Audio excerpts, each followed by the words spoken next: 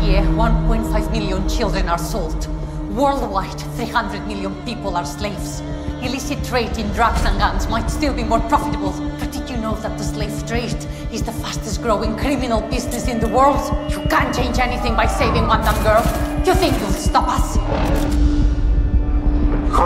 This business requires a great deal of discretion. А еще куча фильмов. Знаю, ну что ты, сука, снимал все это. Fucking kill you! Я боюсь дяди Кирилла.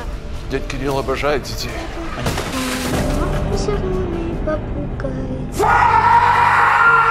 Мы едем на каникулы Куда?